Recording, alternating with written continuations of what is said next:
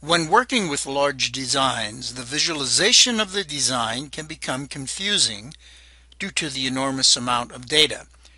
By isolating parts of the design into smaller sections, you will improve productivity and eliminate potential errors in interpreting the design. In the clip volume topic, you will learn how to create sectional clips, manipulate clip views, and how to create a drawing from a clip volume. A clip volume is a method to limit the amount of geometry displayed within a view. Only the elements within the clip volume will display and can be snapped to. Each view can have a different clip volume applied to that view. In the clip volume section, open the design 05-fountain.dgn.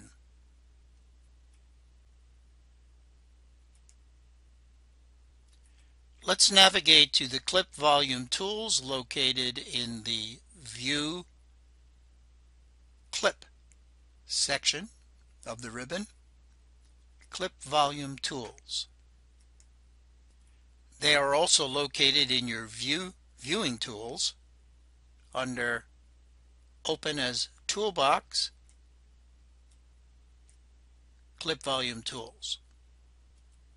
When you select Clip Volume in the Tool Settings window, there are numerous ways by element, uh, by just two points, or a polygon what we're going to do is strictly work with the sectional.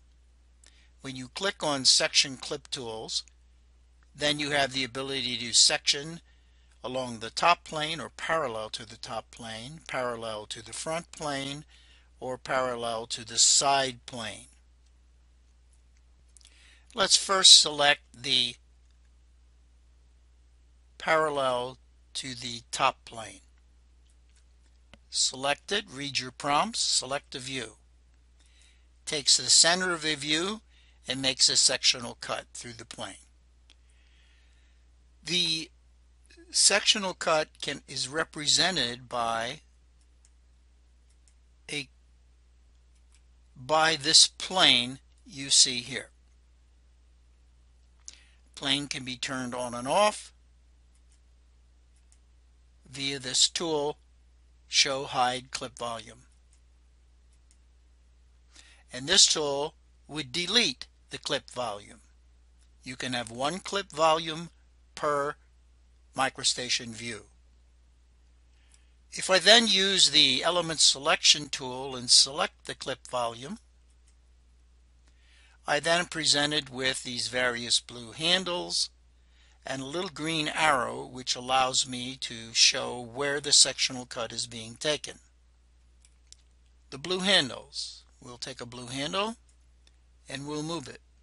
As we move it, it dynamically reduces the size, but in the reduction, it's actually making a cut through the right side or the front or any other side. If I select the arrow, and it is easier to go into a orthographic view such as a front view of an object. And there's the arrowhead. And as I move the arrowhead let's you move it up. And then we'll go back to a right isometric view. And you can see that we have a different sectional cut plane.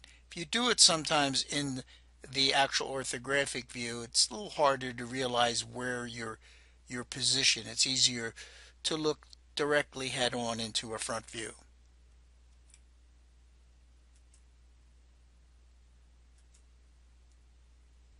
To delete the clip volume for a specific view, simply go to Clear Clip Volume. Click on the screen and you're back to the original water fountain.